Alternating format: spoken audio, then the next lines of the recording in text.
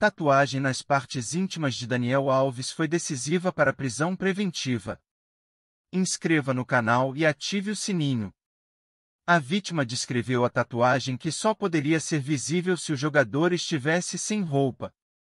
E diante da polêmica envolvendo o jogador Daniel Alves, acusado de agressão sexual em Barcelona, na Espanha, uma tatuagem foi decisiva para o pedido da prisão preventiva contra ele.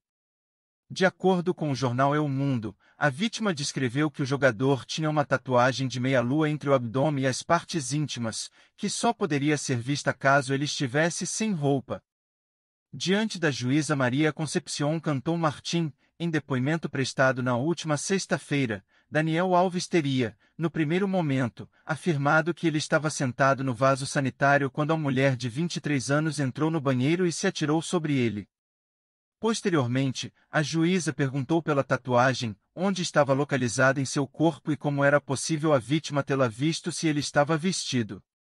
A partir desse questionamento, Daniel Alves retificou o que havia dito, afirmando que se levantou assim que a vítima entrou no banheiro e, por isso, ela viu a tatuagem. Em nova versão, segundo o Estadão, Daniel Alves teria admitido que teve relações sexuais com a denunciante de maneira consensual.